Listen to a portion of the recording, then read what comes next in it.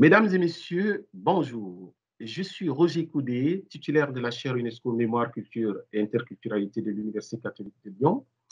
Et dans le cadre du cycle de conférences Géopolitique et géostratégie internationale au titre de l'année universitaire 2021-2022, je souhaite vous proposer trois axes de réflexion et d'analyse qui porteront respectivement sur, premièrement, l'avènement de Joe Biden à la Maison-Blanche après les années Donald Trump.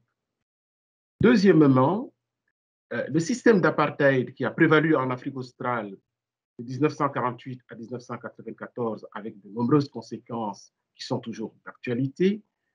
Et le troisième axe portera sur la sempiternelle question de la refondation des relations entre l'Afrique et la France.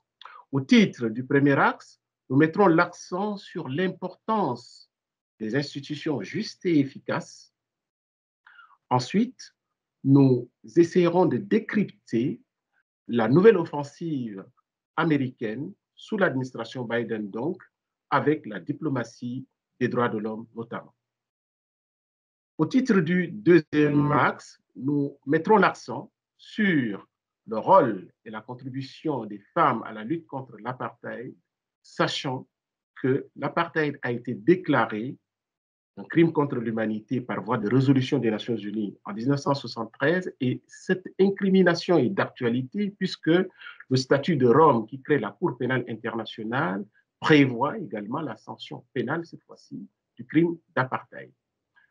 Telles seront les deux étapes de ce deuxième axe. Et enfin, le troisième axe va porter sur la refondation des relations entre l'Afrique et la France nous conduira à traiter de la question euh, du serment de Koufra, le fameux serment de Koufra qui est un fait marquant de la contribution de l'Afrique à la libération de la France.